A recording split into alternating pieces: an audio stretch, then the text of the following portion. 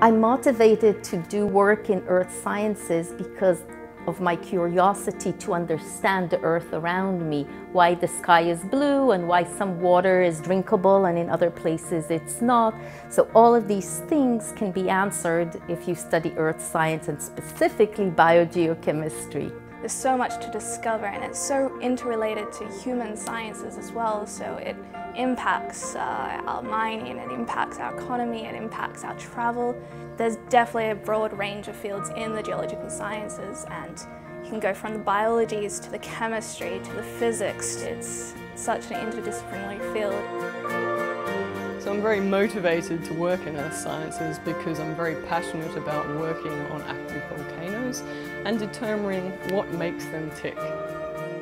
I was motivated to work in the geology department at UQ because of the camaraderie in the industry and it's a very hands-on field with lab work so it's a really good balance and I just enjoy being outdoors and being with nice people. So my advice to young women wanting to establish a career in earth sciences would be to follow your heart. Don't do the job that pays you the most money, do the job that makes you happy.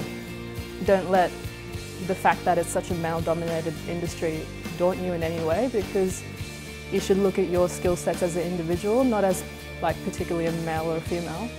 Never ever believe the word no.